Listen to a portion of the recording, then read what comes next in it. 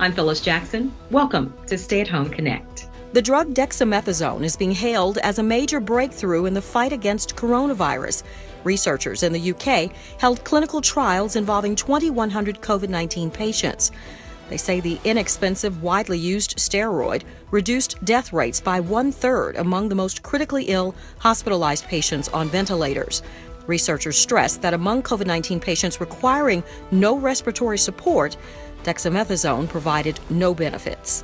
The FDA revokes the emergency use authorization for hydroxychloroquine and chloroquine.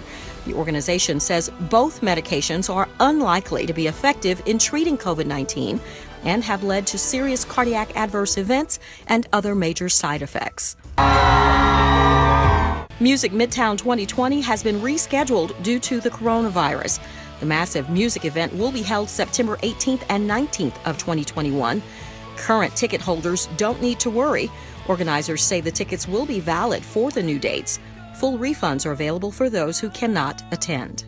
Before returning to play, kids, coaches, and parents can follow these tips to protect themselves and others from COVID 19. The CDC issues tips on keeping kids safe while participating in sports. Among the recommendations, bring your own equipment and don't share towels or any items you would use to wipe your face or hands.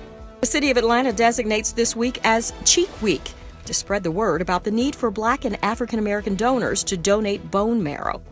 Atlanta City Council member Andre Dickens issues a statement regarding Cheek Week, calling it an SOS to the black and African American community, as well as all from ethnically diverse backgrounds. It reads in part Please step up and help save a life because we are the cure. We have the power within us to help change one more disparity affecting black lives, and it starts with a simple cheek swab. Thanks for joining us. Have a great night.